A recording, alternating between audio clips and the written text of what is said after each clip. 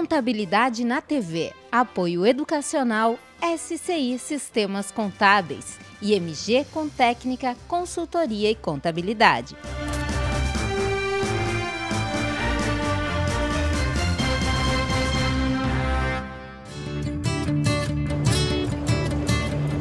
Clube Monte Líbano, na capital paulista, recebeu autoridades, lideranças empresariais e empreendedores contábeis e de assessoramento para uma noite de celebração. Afinal, são 65 anos da entidade que representa os empresários do setor contábil e de serviços do estado de São Paulo, o SESCOM.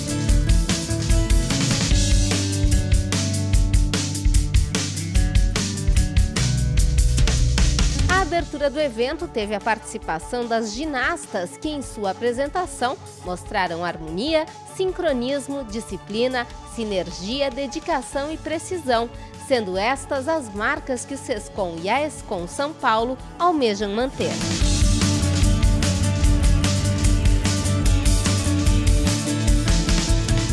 Depois do hino nacional, aconteceu a entrega da medalha Presidente Aníbal de Freitas, concedida pelo Sescom São Paulo e pela AESCOM a personalidades de destaque que prestam relevantes serviços às categorias representadas pelas entidades e à sociedade em geral. A todos para festejarmos o 65º aniversário das atividades e realizar a homenagem da medalha presidente Aníbal de Freitas. Nesta edição, os homenageados foram o presidente do Conselho Deliberativo do Sebrae São Paulo, Alencar Burti, o presidente do CRC São Paulo, na gestão 2010-2011, Domingos Orestes Tiomento, e o empresário contábil José Paulo Tartiani.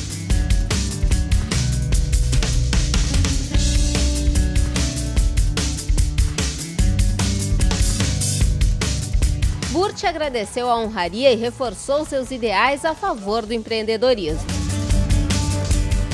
Reforça a nossa convicção de que é preciso continuar lutando para que empresários, pequenos ou grandes, fiquem livres dos excessos das famigeradas burocracia e oneração tributária. Essa é, sem dúvida nenhuma, um momento de rara alegria para mim. O, o, voluntário, a única paga que ele tem é o reconhecimento de seus pares, dos seus colegas de empreendedorismo. Portanto, hoje à noite eu espero uh, uh, que a minha família e eu recebamos essa, essa homenagem com muita humildade, mas com muita alegria. Muito obrigado e espero que o SESCOM continue o seu trabalho que tem ajudado muito o empreendedorismo em São Paulo e no Brasil. Exemplo de atuação empresarial contábil há mais de 50 anos. Tiamento falou sobre a importância de todos que participaram e que ainda colaboram com sua trajetória profissional. Eu queria então agradecer a Deus pela dádiva que Ele nos deu em receber essa medalha.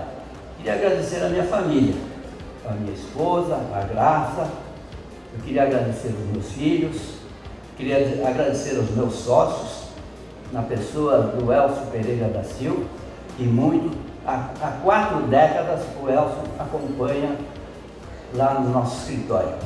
A DOC Contabilidade, no ano que vem, ela completa 50 anos de atividade.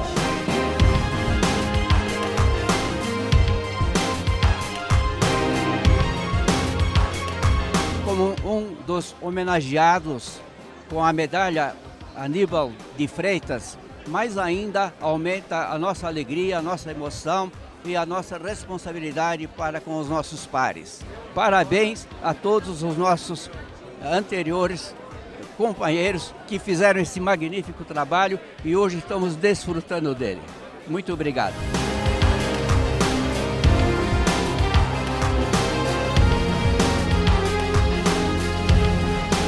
Empresário contábil José Paulo Tarchiani citou alguns ensinamentos que marcaram sua vida na contabilidade.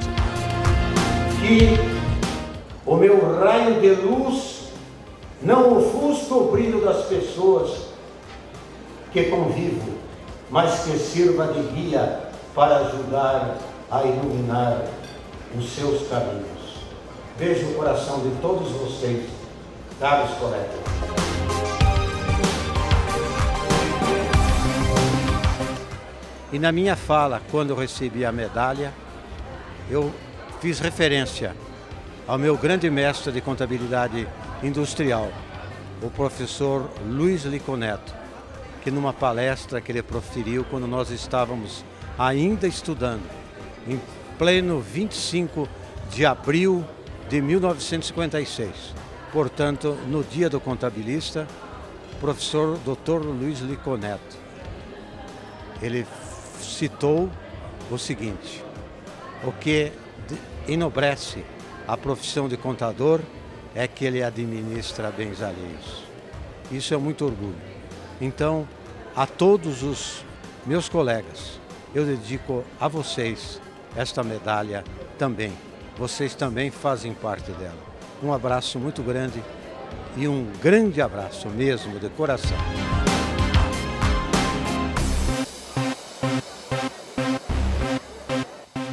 Presidente do CRC São Paulo, Cláudio Avelino McKnight Felipe, falou em nome das entidades congraçadas da contabilidade paulista. Não basta chegar aos 65 anos. É preciso completá-los com qualidade e este é um predicado que não falta ao Sescom São Paulo. A classe empresarial foi representada por Rogério Pinto Coelho Amato, presidente da Associação Comercial de São Paulo e da FACESP. Ele falou da importância da parceria com o SESCOM.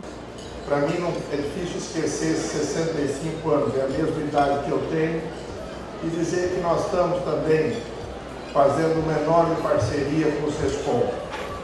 Nós pretendemos ter em cada um de nossas 400 associações, esse é um sonho do interior e nas 15 distritais, uma, algo do, do SESCOM também para poder fazer com que se estenda para os nossos associados o conhecimento necessário e que eles tanto necessitam para o seu dia a dia.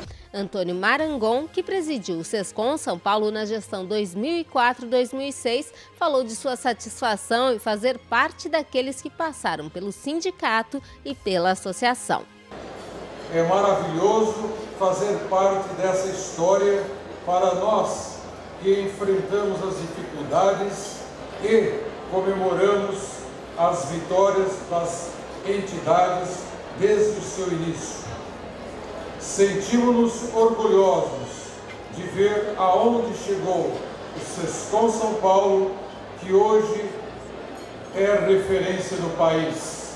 O presidente da FENACOM, Mário Elmir Berti, falou dos velhos e novos desafios para a classe contábil. Temos lutas heróicas pela frente. Aqui já foi falado, eu só vou citar dois exemplos: a, desburocratização e a redução da carga tributária. Esses assuntos são tão velhos quanto a nossa história.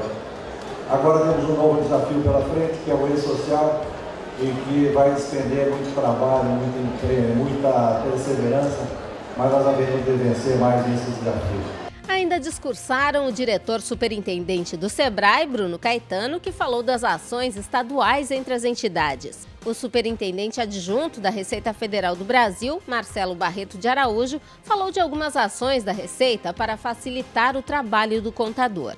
O presidente da Frente Parlamentar do Empreendedorismo e Combate à Guerra Fiscal da Alesp, deputado estadual Itamar Borges, falou da parceria com as entidades contábeis. O deputado federal Arnaldo Faria de Sá e a vereadora paulistana Edir Salles também deixaram seus parabéns ao sindicato.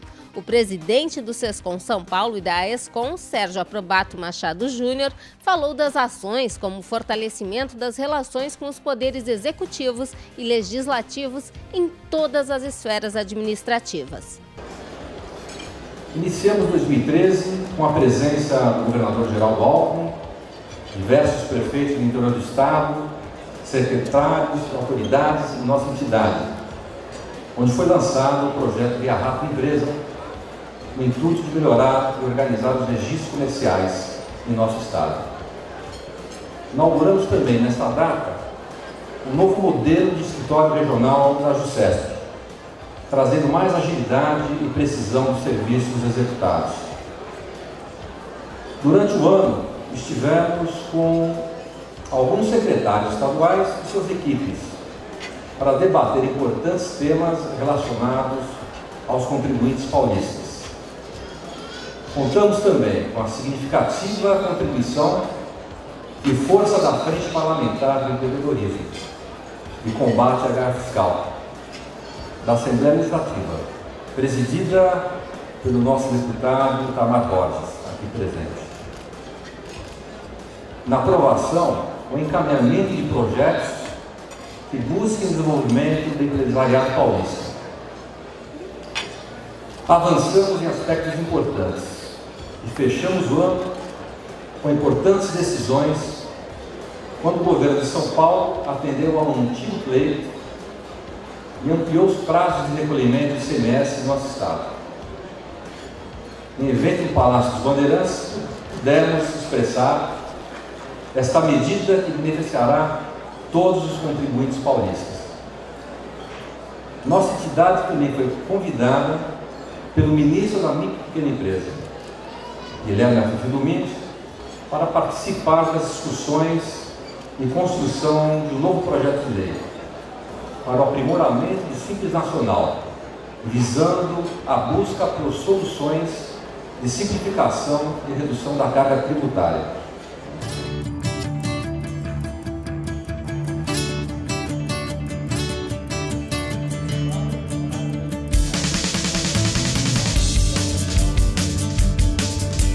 Queria parabenizar o SESCOM pelos 65 anos de existência, uma entidade representativa no cenário da contabilidade.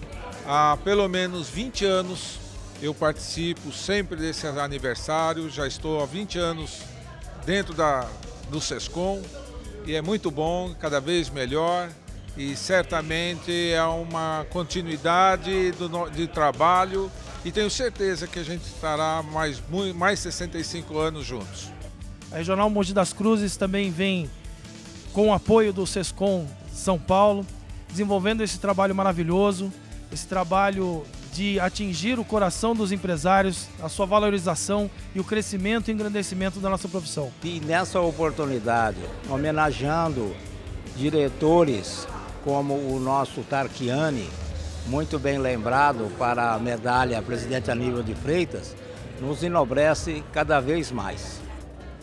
O SESCOM é uma entidade que traz muito, muitos benefícios à classe contábil e eu me sinto muito honrado, muito feliz por fazer parte desse grupo. Fazendo parte da grande festa do SESCOM, dos seus 65 anos de atividades. Parabéns ao SESCOM, parabéns a toda a diretoria executiva, parabéns a todos os diretores regionais. Isso realmente é um trabalho de suma importância que todos nós temos prestado a essa entidade SESCOM 65 anos. Uma festa maravilhosa, congregando aí todas as entidades, reunindo o estado de São Paulo todo, a diretoria da FENACOM, os demais SESCOM e SESCAPs do Brasil, mostrando que o SESCOM São Paulo tem uma força muito grande no Brasil e é uma entidade muito representativa e muito importante. E é uma felicidade para todos nós estar homenageando essa entidade que é reconhecida não só no estado de São Paulo, mas nacionalmente.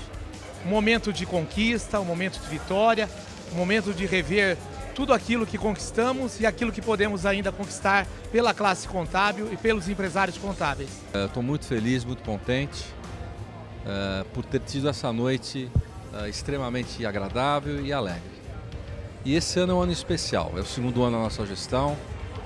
Nossa gestão que foi consolidada em 2013, e sempre início de gestão é meio difícil porque é troca de administração, mas tivemos aí muitas oportunidades, boas oportunidades, conseguimos algumas coisas interessantes e importantes, como a prorrogação dos pagamentos do semestre aqui no nosso estado, uma, um pleito antigo da classe e que nós felizmente conseguimos isso uh, nessa gestão, no final de 2013. Uh, também conseguimos uh, postergar esse ano 2014 a discussão sobre o ISS, eh, não só no nosso estado, mas o ISS é um projeto de lei nacional e teremos a oportunidade de participar desses debates agora nesse ano. Então, tudo isso eh, e muito mais coisas que a gente vem fazendo na área da educação, na área de serviços, eh, tem nos deixado bastante felizes. Eu acho que foi um ano muito bom, esse primeiro ano da nossa gestão. O fechamento do evento se deu com um bolo de aniversário dos 65 anos do SESCOM São Paulo.